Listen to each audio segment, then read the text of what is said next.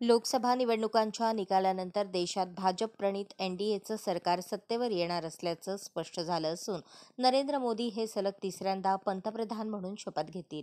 या निवडणुकीत एनडीएला बहुमत मिळालं असलं तरी भाजपची मोठी पिछेहाट झाली असून त्यांना स्वबळावर सत्ता मिळालेली नाही. याच पार्श्वभूमीवर शिवसेना उबाठा गटाचे नेते आणि खासदार संजय राऊत यांनी भाष्य केले. लोकसभा निवडणुकांच्या निकालानंतर देशात भाजप प्रणित एनडीएचं सरकार सत्तेवर येणार असल्याचं स्पष्ट झालं असून नरेंद्र मोदी तिसऱ्यांदा पंतप्रधान म्हणून शपथ घेणार आहेत.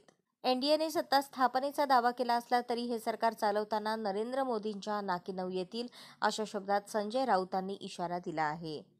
चंद्राबाबू नायडू आणि नितीश कुमार म्हणजे एनडीए का?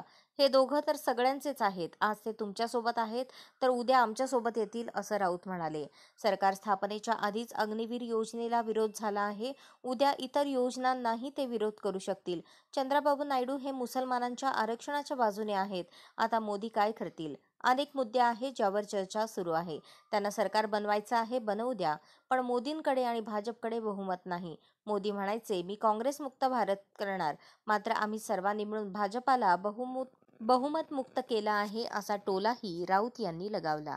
अशाच नवनवीन अपडेटसाठी जनता राज्य न्यूज चॅनलला सबस्क्राईब करा लाईक करा आणि शेअर करायला विसरू नका.